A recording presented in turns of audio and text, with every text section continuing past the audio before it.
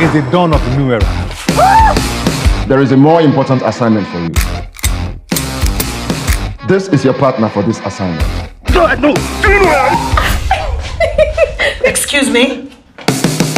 Hi everyone, welcome to yet another time with me. My name is Chacha Wabara. Thank you so much for doing this with me today. We'll be reviewing the Nigerian movie. It's a 2021, it's a 2021 Nigerian movie.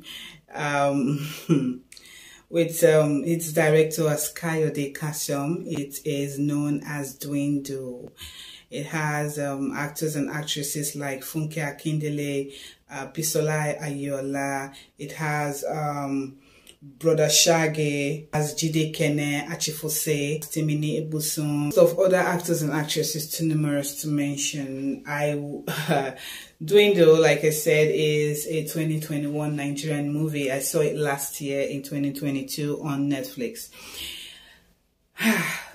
okay, um, it has to do with it has to do with um, these two police officers, um, Funke Akindele and um, Bisola Aiyeola, yeah, who are, you know, assigned as details to the governor um, for a soft um, shadowing um, while he meets with some people and has fun. And in that instance, in that particular location, he was kidnapped. And um, incidentally, the governor's son was Timini Egbuson. Now, Timini Egbuson, you know, was supposed to get, you know, arranged a contract, a job, and did everything, brought it before his dad, who took it from him and gave it to another person. So I think um, Timini Egbuson was upset, he was bitter, and he was already owing some some people money for developing that plan or something along this path and um, he sought to get the money back. He had no way of getting the money back. He hired um, these people to kidnap his dad, the governor, and um, for a ransom.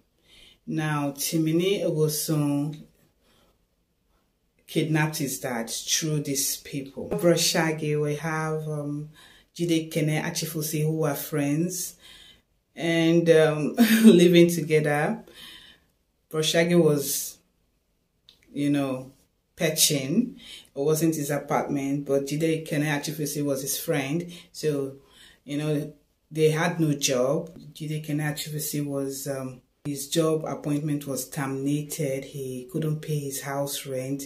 Their landlord was, you know, um, on their head to pay and they kept giving promises and all of that. But well, what happened finally was was that um, by stroke of well, I or pro, uh, luck or providence, they took a car, wanted to make some money from the car, like you know, do some Uber, get some pay, and along the way took these um, kidnappers who were, I think, uh, Uzor Arukwe and one other person, and after that, you know who asked to be stopped somewhere to get something and along the line they put something in the car money in the car and also the kidnapped governor at the back of the car that's at the boot and um, along the line they discovered a gun they ran away the people were chasing them and now they were stuck with the governor.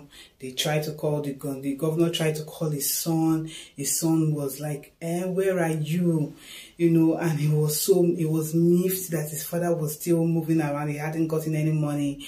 And then he sent new kidnappers to go kill him or something along that path. I don't know and then there's Funke Akindele and Bisola Aiyeola who were blamed for the kidnapping of the governor and um, were held responsible and were trying to were trying to find evidence to show that they were not the ones responsible and they had no idea about the kidnapping of the governor and um, you know they were all in it. So we had two people scrambling left right and center Um, that is Jide Kene Achufusi and um, Broshage on the one hand, and then we have Funke Akindele and Bisola on the other hand, and then we have the stress of Timini on the other hand, and then they all meet at the same place, and, and you know everything went down. Kayode Kasum this is not good at all. It is not good. Okay, first of all, where am I supposed to start? This movie gave me headache because it was too childish. It was too annoying. It was too not coordinated at all. I just felt like seeing Funke Akindele, seeing Bisola, seeing Jide Kene, Achufusi, seeing these serious actors and actresses um, a lot of them, they, they, you know, something would happen and um, something obviously did not happen. So I'm just going to pick um, things I can pick and um, conclude. Now, in terms of cinematography, it was um, below average. It was just there. Um, average, I'll just say, it's not below average or above average. It's just there. You know, the sound was okay. Um, the lighting was all right. What can I say? Everything was okay. But the plot was a huge no for me. It was a huge no.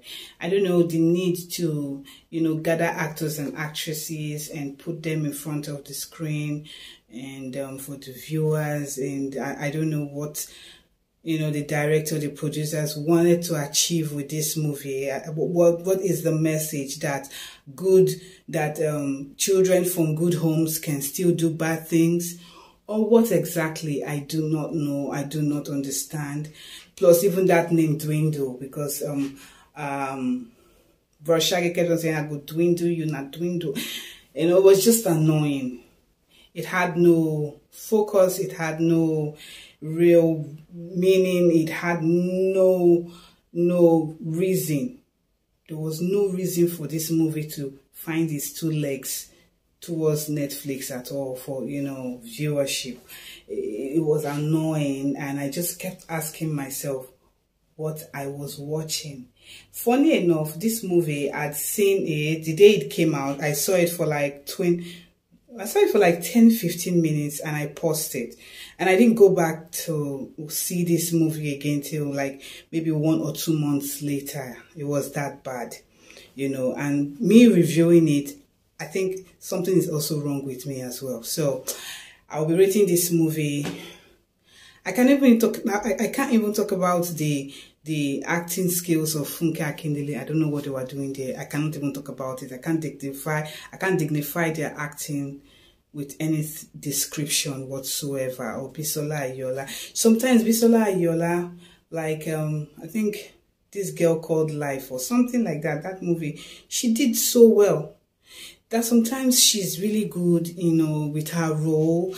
Um, and then that sometimes that I just wonder why she would take up a role and um, the reason, like most times I wonder why don't these people read their scripts and, you know, understand like, see, I can't do this, um, and, you know, um, this is not just me. Or what are what message are we trying to pass across to the audience?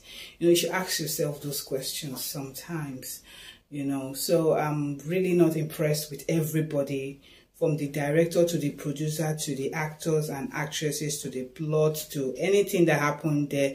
I am just not impressed at all. I'll be rating this movie a 2 over 10 come and beat me in my house because this movie is not even supposed to be rated easy. It's it's it's it's annoying.